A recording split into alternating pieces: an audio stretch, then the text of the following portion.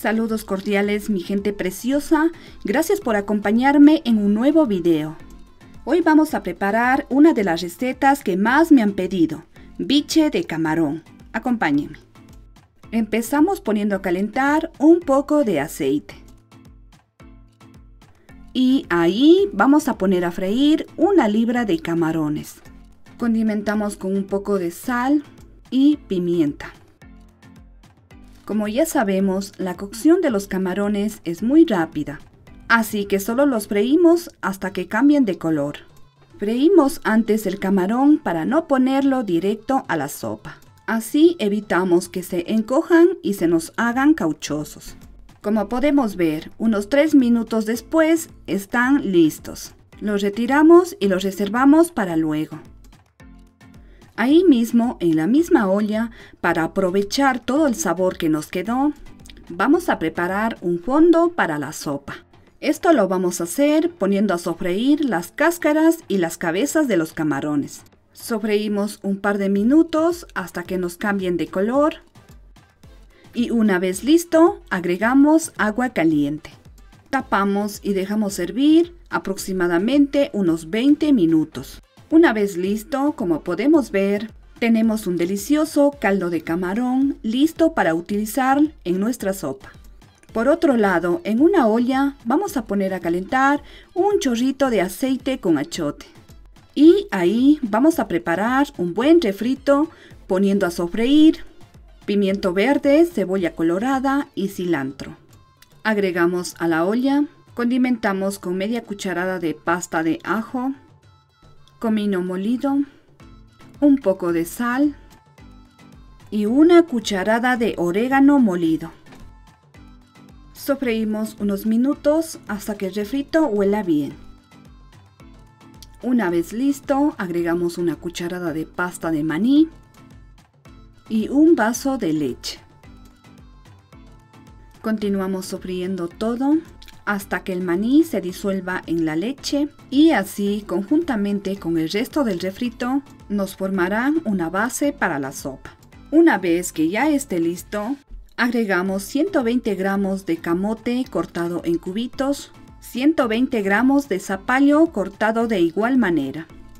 Agregamos también unas rodajas de choclo, 120 gramos de yuca cortado en cubitos, y sofreímos todo unos 3 minutos.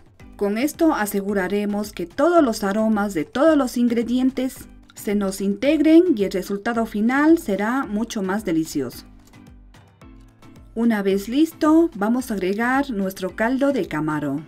Lo vamos a agregar pasándolo por un colador.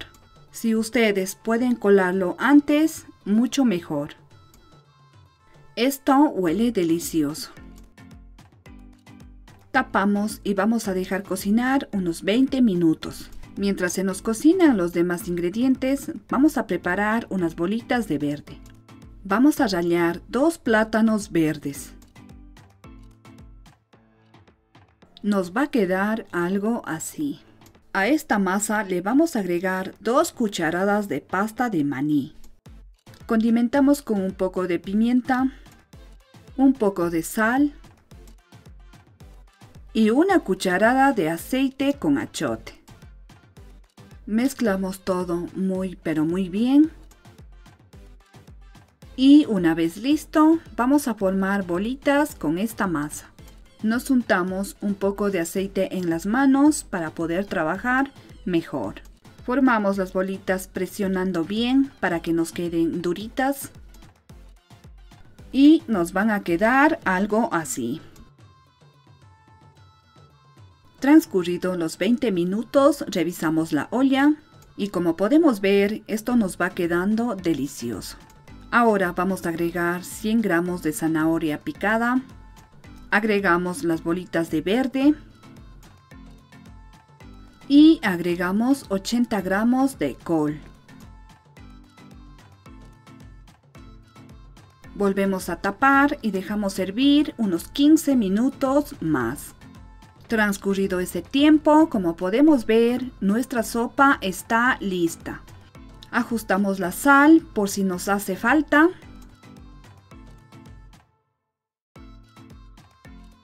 Apagamos el fuego. Y para terminar, agregamos vainitas ya cocinadas y picadas. También agregamos cilantro picado al gusto. Y por último, volvemos a incorporar los camarones. Le damos una buena mezcladita a todo. Uy, esto sí que se ve delicioso. Dicen que la comida primero entra por los ojos. Y hoy confirmo que es verdad. Porque a quien no le da hambre viendo esta delicia. Ahora solo nos queda servir y disfrutar de este platillo. Muy típico de nuestro querido país. Espero que se animen y lo preparen. Les va a encantar. Buen provecho y que Dios me los bendiga siempre.